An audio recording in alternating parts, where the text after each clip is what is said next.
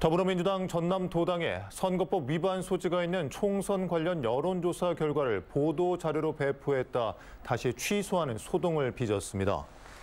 민주당 전남도당이 배포한 전남 정치 인식 조사 결과 보고서에는 총선 성격과 신당에 대한 지지도, 정당 지지율 등에 대한 여론조사 결과가 포함됐습니다.